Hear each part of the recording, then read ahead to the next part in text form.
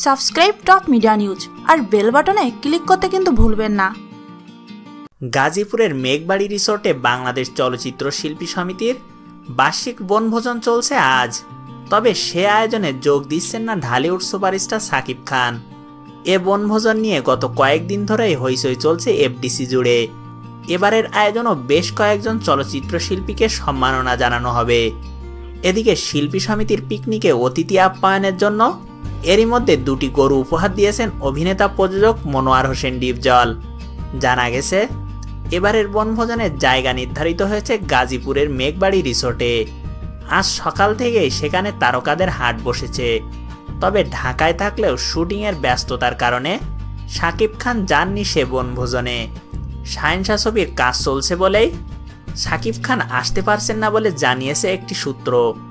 তবে অপর একটি সূত্রের মতে শিল্পী সমিতির নেতাদের সঙ্গে শাকিব খানের খুব একটা ভালো সম্পর্ক না থাকায় সাকিব যাচ্ছেন না সেখানে। তবে সমিতির সাধারণ সম্পাদক জায়েদ খান জানান, সাকিব খান সহ সমিতির সব শিল্পীদের দাওয়াত দেওয়া হয়েছে। এখন দেখার পালা কে কে যাবেন, আমরা তো সবাইকেই আশা করছি। এদিকে বনভোজনের জন্য মঙ্গলবার এফডিসিতে শিল্পী সমিতির সামনে লাল ও কালো রঙের দুটি গরু উপহার দিয়েছেন মনোয়ার হোসেন ডিপজল। বিষয়টি নিশ্চিত করেছেন বাংলাদেশ চলচ্চিত্র শিল্পী সমিতির সাধারণ সম্পাদক জায়েদ খান। সোশ্যাল মিডিয়াতেও গরুসহ ছবিও পোস্ট করেছেন তিনি।